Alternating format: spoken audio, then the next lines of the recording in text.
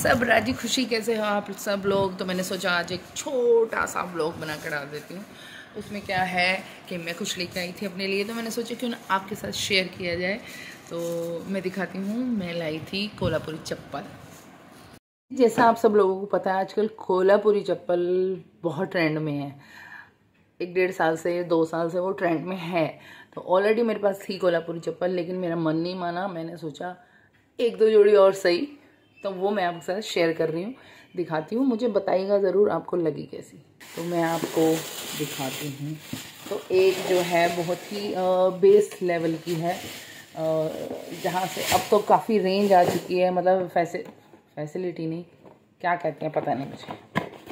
तो मैं दिखाती हूँ आपको। ये। तो ये पहन के भी बड़ी प्यारी लगती है। मैंने पहनी थी पिक्चर भी क्लिक की थी तो मैं वो पिक्चर साथ में ऐड कर दूँगी।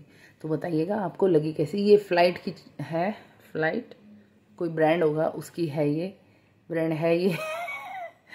तो और बहुत ही रीज़नेबल है ये। तो आपको कैसी लगी बताइएगा ज़रूर। कंफर्टेबल होती है ना ये। और गर्मी में क्या होता है, जूती भी पहन लेते हैं, मैं भी पहन लेती हूँ, लेकिन जूती से भी ज़्यादा कंफर्टेबल होती है ओपन होती है तो ऐसा आपको गर्मी भी फील नहीं होती और सुंदर भी लगती है। हाँ ये है बशर्ते आपके पैर साफ़ सुथरे, सुंदर हो। अच्छी लगी हैं एक ये तो एक है ये। यस ऑफ़ वाइट कलर में ऐसी ही सेम ऑलमोस्ट सेम मेरे पास ग्रे कलर में भी थी। तो पर मुझे ये कलर इतना प्यारा लग रहा था ना पैरों पे। वाह वाह वाह वाह वाह तो ये मैंने ले ली। अच्छा इसकी आ, आ, इस वाले की क्या ख़ास बात है? ये पानी में भीग के ख़राब नहीं होगी ये। जैसे मर्ज़ी पहनो कहीं पहन के गए हो। मैं तो पार्क भी में जाती हूँ तो मैं सोच रही हूँ ये पहन के जाऊँगी। अगर पार्क में गए हो पैर वैर गंदे हो गए धूल मिट्टी लग गई है जैसे मैं सिम्बा को घुमाने ले जाती हूँ। तो ये आओ पानी डालो साफ़। है तो ये भी ऐसी ही, ये देखो पीछे से। पर इसमें क्या है, थोड़ा स्टोन वर्क है तो मुझे लगता है कहीं वो ख़राब ना जाए। और आई थिंक ये ये लेदर है इसमें, ये लेदर है। ये थोड़ी कॉस्टली है तो वो बहुत ही बेस लेवल की है। I like that very much ये। आपको मेरी जुतियाँ कैसी लगी, मुझे बताइएगा ज़रूर। बताता नहीं है कोई भी मुझे हाँ। सब्सक्रिप्शन के लिए धन्यवाद, बहुत बहुत धन्यवाद। थैंक यू सो मच और मैं आपके लिए अच्छे अच्छे शॉर्ट्स अच्छे अच्छे वीडियो ऐसे ही डालती रहूँगी। सिम्बा की नोटंकिया तो आप लोग देखते ही हो। तो अभी तो मैं इनको इसमें बॉक्स में ही रखूँगी, क्योंकि क्या होता है, इनकी ना थोड़ी शेप वो हो जाती है। तो और जब ये रेगुलर यूज़ में आ जाएँगी आ ही जाएगी, मुझे तो लग रहा है ये वाली तो मैं आज ही पहनूँगी। तो फिर इधर उधर घूमती रहेंगी। एक तो मुझे सिम्बा से बचानी होती है अपने सारे स्लीपर्स सारे के सारे स्लीपर्स तो ये है कि बॉक्स में रख दूँ तो ज़्यादा अच्छा है। है ना?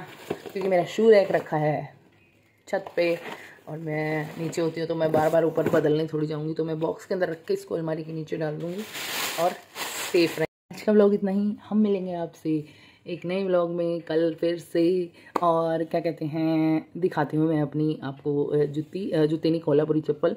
Jutti is different thing Kolhapuri chappal is different thing और इसमें इतने सारे ऑप्शन आ चुके हैं। क्या कलर ऑप्शन है? क्या डिज़ाइन ऑप्शन है? माइंड ब्लोइंग है। कितनी खरीदोगे यार? कितनी ले लोगे? कोई नहीं। ले लेनी चाहिए। तो जी, आपका दिन बहुत अच्छा हो, बहुत मंगलमय हो। इसी तरह हँसते रहिए, खेलते रहिए, मुस्कुराते रहिए, खुद भी खुश रहिए, औरों को भी खुश रखिए। बेस्ट ऑफ़ लक और मैं मिलती हूँ आपसे एक नए ब्लॉग में। Wait and watch wait and watch ये क्यों बोला मैंने? ठीक है, कोई वॉच वेट कर लेना मेरे अगले व्लॉग की। कल आएगा कि परसों आएगा? हो, वैसे आज मेरे माली ने भी आना था। अभी फ़ोन करती हूँ मैं उसको कि तो आया क्यों नहीं? मिलते हैं आपसे। लेकिन मैंने बताया ना कि अपने पैरों को खूबसूरत बना के मतलब साफ़ सुथरे पैर तो होने ही चाहिए ना, चाहे नेल पेंट ना लगाओ साफ़ सुथरे तो होने चाहिए। तब कोल्हापुरी चप्पल पहनो तो क्या जचती है। वैसे कोई भी चप्पल पहनो, पैर तो साफ़ सुथरे होने ही चाहिए। उसके लिए मैं क्या करती हूँ, ग्लीसरीन ले रखी है मैंने। ग्लीसरीन के अंदर मैं नींबू और गुलाब जल मिक्स किया हुआ है। और नहाने के बाद मैं इसको पैर अच्छे से पहुँच के, सुखा के देन ये लगा लेती हूँ।